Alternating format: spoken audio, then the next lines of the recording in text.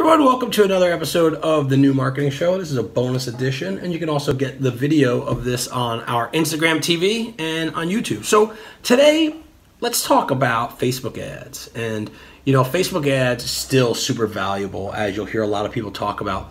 But Facebook ads, I don't, the, the reason I love Facebook ads, first of all, is because you can go ahead and you can really, really pinpoint exactly who you're trying to talk to and who you're trying to message. So, here are a couple of tips. Here are two tips that really help you get to where you're going to get more traffic to your site, to get more, hopefully, conversions, and to get more people interested in your brand and get some buzz going. Now, here's a disclaimer all of this is predicated on the copy of your ad and the image of your ad and making sure that that's as compelling as possible and it resonates with your audience in a true way that it's true to your product. No bait and switch, no bullshit like that. So make sure that you hone in the copy to get people excited.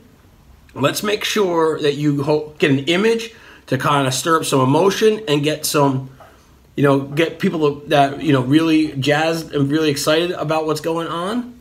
This is what's going to bring traffic to your audience. First of all, when you go ahead and you try to segment your traffic and you target your audience, make sure that you first of all target all the people who like your page and all the pe- all of your friend, their friends.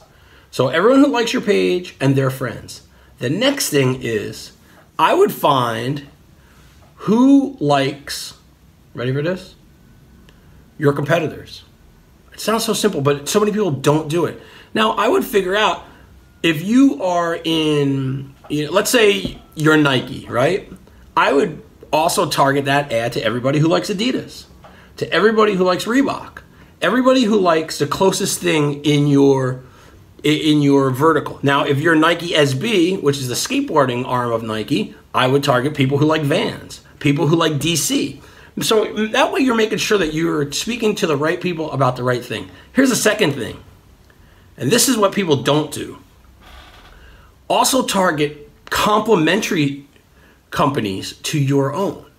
So if you're targeting again, if you are Nike. Maybe you want to target, maybe, you know, maybe let's say you're Nike SB and that's the skateboarding arm and you want to go ahead and you want to do an ad. I would target people who like primitive skateboards or people who like Toy Machine or people who like element skateboards, etc., etc., Spitfire wheels, independent trucks, things like that. Because now what you're doing is you're taking your brand and you're starting to expand the sphere of influence to other people's brands and then from there, what you can do is you can really start to make a difference. And what'll happen is you can go ahead and you can really start to, you know, influence your market and learn exactly who you need to talk to, what you need to say, and then hopefully get some people, you know, who are interested in in in using your product and service. So give those two things a go. One, target your your own fans and your friends of fans target your competition, and target like industries. Thanks for listening. Thanks for watching. We'll see you next time.